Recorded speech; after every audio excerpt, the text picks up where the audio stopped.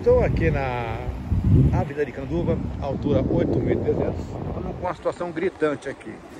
Gritante, por quê? Porque aqui, com a última chuva do dia 20, 23 do 2, às 15h30, às 14h30, caiu aqui parte do gabião e ali a parte até do esgoto ali, ó, que vai pro rio.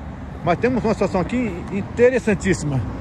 O fato é, não abriu só ali, abriu aqui também, a casa desse senhor aqui, ó, que mora aqui no Aricanduva, abriu também a parte da Sabesp, tá aí, A Sabesp também vai ter que vir aqui fazer um trabalho de reestruturação, porque isso aqui cedeu. O fato é, aqui mora um cidadão que está em área de risco. Vamos acionar a Defesa Civil, vamos acionar a Secretaria de Assistência Social para dar assistência para esse cidadão aqui que precisa de ajuda.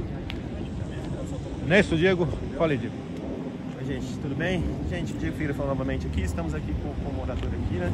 É, estamos com uma situação aqui bem, bem, bem pesada, bem triste mesmo, mas assim, a gente está tentando o máximo possível aqui dar um auxílio aqui para ver se a gente consegue arrumar uma forma para ficar legal, né? O interessante aqui, é, infelizmente, isso é um contexto do, da nossa São Paulo, né, cara? A gente tem esse problema, mas uh, eu acredito que é o trabalho de formiguinha, a gente indo, né?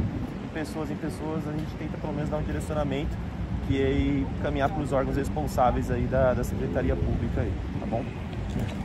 O fato, o fato é que é, tudo que a gente está fazendo aqui hoje, na realidade, a gente veio aqui filmar né, a, a parte das obras aqui que estavam cedendo.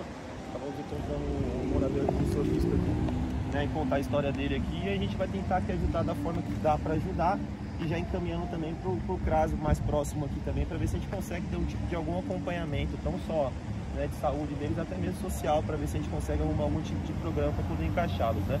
O fato é que a gente, não, a gente tecnicamente não faz muito esse trabalho, nosso trabalho é mais cobrir as nossas obras aí que a gente fica cobrando o Ministério Público, mas isso daqui também é uma situação que toca na gente, porque querendo ou não, a dignidade das pessoas tem que ser restaurada, né, cara? A gente já tá cansado de ver essas coisas aqui em São Paulo, né? É. Mas é isso, gente. Obrigado aí, até o próximo vídeo.